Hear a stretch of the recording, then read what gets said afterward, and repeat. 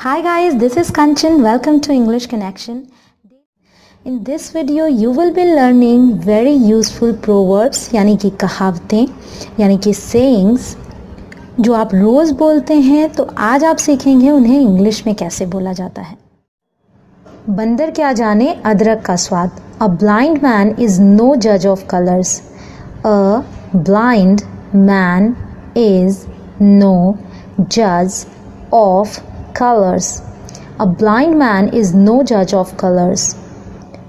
चार दिन की चांदनी फिर अंधेरी रात a nine days wonder a nine days wonder a nine days wonder जब जागो तभी सवेरा it's never too late to mend it's never too late to mend it's never too late to mend घर का भेदी Lanka ढाए।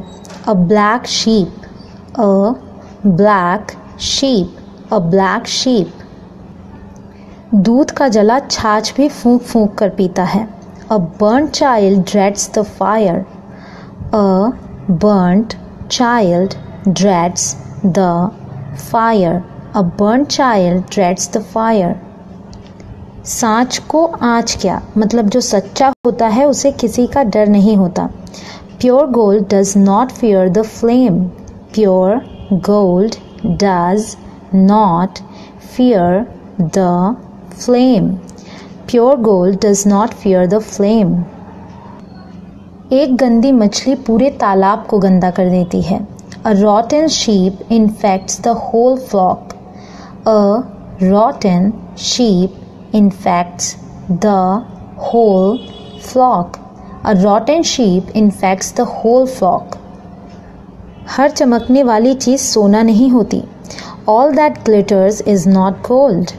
All that glitters is not gold. All that glitters is not gold. Alright guys, I hope you would have liked this video. If yes, then hit the like button and subscribe to my channel. And yes, don't forget to write a comment. I'll meet you in my next video. Till then, keep learning guys and keep practicing. Thanks for watching. Bye for now.